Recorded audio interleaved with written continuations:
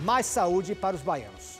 Foi inaugurado hoje de manhã o Hospital Ortopédico do Estado no bairro do Cabula. Detalhes agora com Marcos Henrique. Vamos conferir. Eu estou no bairro do Cabula, onde foi entregue à população baiana o Hospital Ortopédico do Estado. O governador do Estado, Jerônimo Rodrigues, juntamente com o ministro Rui Costa, esteve aqui para entregar à população esse, esse equipamento de saúde. Os o governador Jerônimo Rodrigues falou um pouco com a imprensa sobre a importância desse equipamento para a população. É que além da oferta dos serviços de ortopedia, como foi dito aqui, essa é uma área que tem evoluído muito em tecnologia.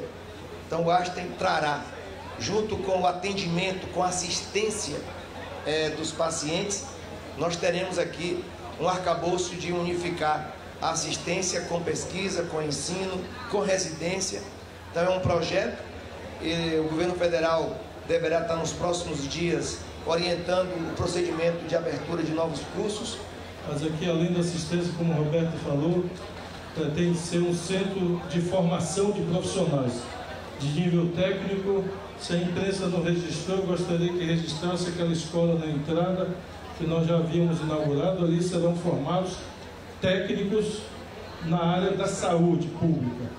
Então, inclusive na parceria com o Aster, que tem em São Paulo uma escola de curso técnico, e aqui também nós queremos abrigar um curso superior de saúde, de medicina, para a gente poder é, transformar esse hospital num hospital de, de ensino com a formação de residência.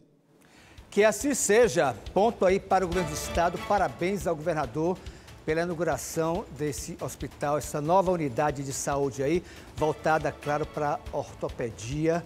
Lembrando que são muitos, ele até já falou isso aqui comigo, são muitos acidentes aí, principalmente com motos, tá? Que acabam causando problemas ortopédicos, quando não matam, quando não matam. Então, parabéns aí para o governo do estado.